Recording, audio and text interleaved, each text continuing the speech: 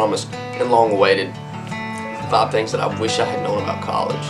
And I wish that I had watched videos on this when I was in college um, because it would have definitely helped me. But these are five key things that I did that kind of helped me build the lifestyle that I built throughout this time. So I'm going to start with the first thing that I think is important to everyone. And also thanks for watching guys. Um, but the first thing I want to talk about is recreating yourself because whatever you were in high school, you don't have to be in college. So if you kind of created an identity that you didn't really want to identify with in in high school, or like you weren't the muscle dude, or you weren't the jock, or you weren't the smart one, or whatever the case may be, entering college is a whole new realm of opportunity. So you can really be anybody you want to be. Uh, when I came out of high school, I was kind of nervous. I weren't as you know, I was pretty educated, but I definitely weren't muscular, and I wouldn't say I was very confident.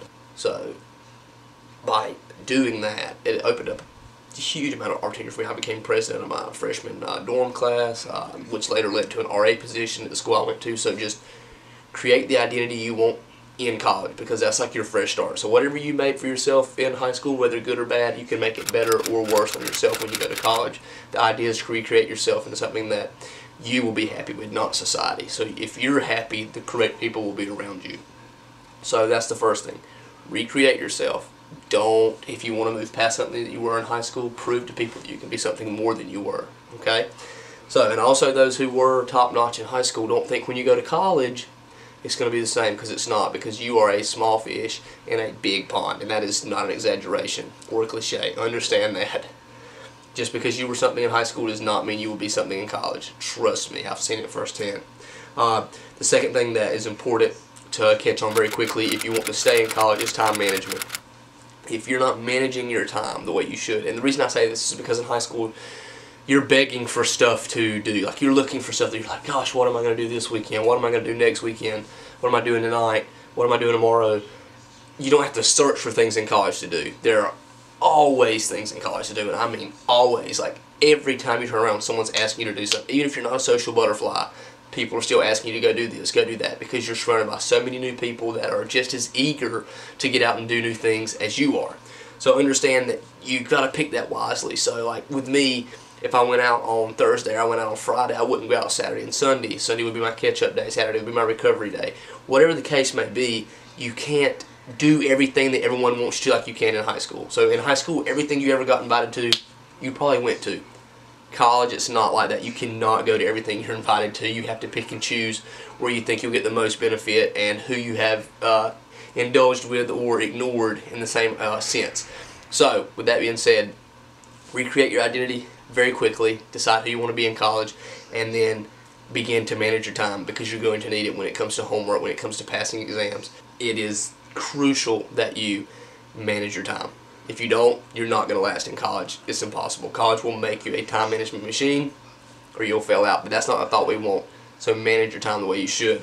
Now, this is something that I wish I would have done more of. I did it to a certain extent, but I missed a lot of opportunities because I didn't want to venture out too far because where I'm from, that's like you know you gotta stay on the path and you don't you don't bounce off that path. But a lot of my friends did a lot of awesome things in college, like travel abroad uh, and just do these very venture-seeking, adrenaline-rushing things. I advise you to do that because this is the only time you don't really have risk. You're in college, so being adventurous and stuff isn't going to get you in too much trouble as if you had wife and kids where you could lose them or something. So you be adventurous, seek out new opportunities, you know, travel while you can. If the money isn't there, wait till the money's there, look up grants. There's a lot of opportunities for college students to get grants to go places. Uh, even like with the RA position, when I was able to save all that money, I was able to do some and travel some more than I normally would have if I hadn't have. Uh, look for scholarships if you're in high school now so you can get as much college uh, paid for as you can so you can use the money that your parents probably saved for you or that you thought you were going to have to pay yourself. You can work that job and take that money that you saved and put it in some adventure because this is the only chance where you're going to be like, I don't really have anything to do this upcoming weekend, so I think I'm going to go to Georgia or Alabama or the mountains or wherever you want to go, like the spring break trips. Adventure out, enjoy it because I'm telling you, when you get out of college, that time starts to diminish and money you have to start paying for a lot more expensive, if that's even a word, more expensive things in the world. So, what I've said so far is recreate yourself, be the person that you've always wanted to be because you can do it in college. Manage your time, You've got to get that down before you can do anything else and plan those adventures. And then be adventurous. Don't be scared to death to try new things. Be adventurous because I promise you that when you look back, you'll be like, that was an awesome time. I'm so glad I had that story to tell to people throughout the rest of my life. And you never know who you're going to meet uh, as time goes on, which brings me to my fourth point.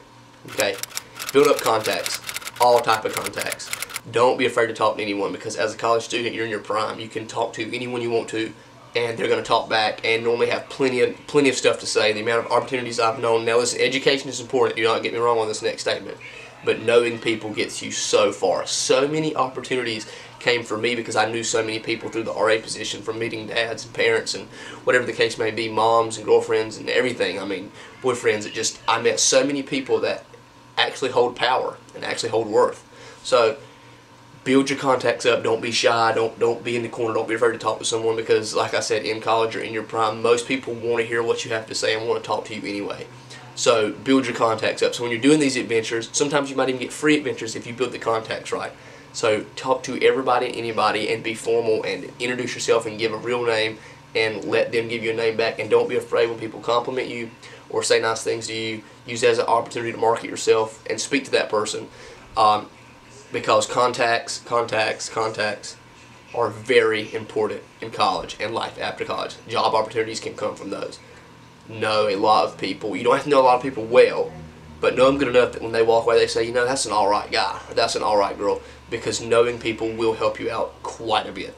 And which brings me to my last thing, because like I said, I'm keeping these videos decently short, trying to keep them less than eight minutes. Um, enjoy it while you can. Okay, don't and you know, this is not me saying be adventurous again. This is me saying when you're in the moment and you're and you and you're feeling some type of way, uh, enjoy that moment and, and enjoy being around a lot of people. It's like in high school when your friends come over, it's a great time. That's how college freshman life is, and throughout all of college really is you're surrounded by a bunch of young people your age seeking adventure and wanting to do new things and there's always someone you can go with so understand that enjoying it while you're there is not something to be ashamed of. Enjoy college. You're your own person for those four or five years, ever how long it takes you to get out of college, um, to do whatever you want to do with really little repercussion as long as you're not breaking the law. Um, and that's what I have for you guys. So remember, recreate yourself, manage your time, be adventurous, build as many contacts as possible, and last but not least, enjoy it. Enjoy it, guys hit that like or subscribe button. I hope this helps you in your college adventure. If it does, leave a comment. Tell me what you think. Tell me if you think I've left anything out. And I wish you the best of luck to y'all that are going to college and the ones that are entering college. Take it easy, guys. Peace out.